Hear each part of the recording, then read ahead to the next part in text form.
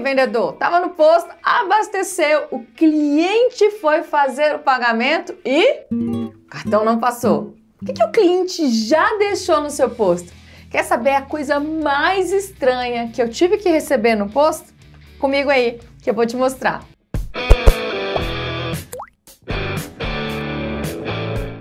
Eu não lembro o ano, mas era mais ou menos lá em 2011, 2012, 2013. É, realmente, eu não lembro que ano que aconteceu.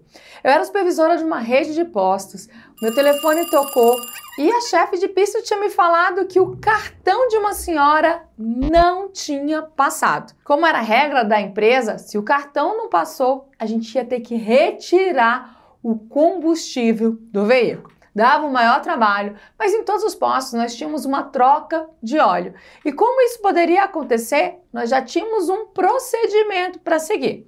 Cartão não passou, a gente vai ter que retirar o combustível do carro ou a cliente vai ter que fazer o pagamento de uma outra maneira. Como, por exemplo, ligar para alguém para que essa pessoa possa ir fazer o pagamento ali e garantir o recebimento. Até porque Todas as vezes que a gente faz um abastecimento, esse abastecimento fica vinculado ao identificador do frentista. E quando ele fechar o caixa, o caixa dele vai ter um furo. É por isso que em determinadas situações o frentista se coloca em risco para poder receber esse valor. Mas o que a gente precisa garantir é um procedimento. E nesse caso, a cliente decidiu fazer o procedimento dela. E sabe o que, que ela me deixou no posto? Não foi o step, não foi a identidade, não foi o celular. Ela me deixou o filho dela. What? Como é que é? Tá louca, é? Tá doida, é? Que mãe é essa que deixa o filho como forma de pagamento? Esse foi o mecanismo que ela encontrou para poder sair dali ir até o banco sacar o dinheiro, já que ela não estava conseguindo fazer a transação pelo cartão de débito. Se ela não conseguiu ali no posto, será que ela conseguiria fazer essa transação? Será que ela foi em casa à procura do socorro? À procura do pai do menino para pagar o abastecimento? Não sei.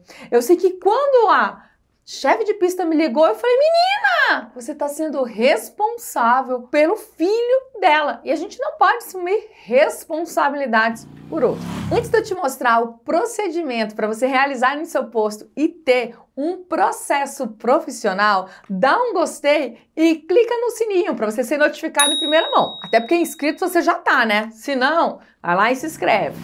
Foi a partir daí que a gente criou um formulário Todas as vezes que o cliente ia ao posto, não tinha como realizar o pagamento, a gente preenchia um formulário como se fosse um, uma nota, né? Um, uma confissão de dívida, anotava os dados do cliente e informava para ele que se ele não voltasse em 24 horas, nós iríamos registrar uma ocorrência porque ele tinha feito o abastecimento e a gente não tinha recebido aquele valor. Então, se tornou procedimento, todas as vezes que o cliente não pagava, preenchia essa confissão de dívida com as informações do motorista, assim como as informações do veículo. A gente pegava as imagens que capturavam daquele veículo, comprovando que ocorreu sim ali o abastecimento e a tentativa de pagamento, mas como o cliente estava sem dinheiro, ele saiu sem pagar e ficou de retornar. Se ele não retornasse, o que a gente fazia?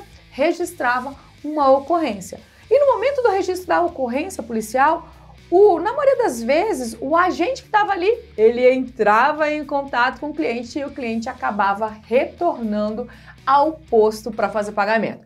Esse foi o objeto mais.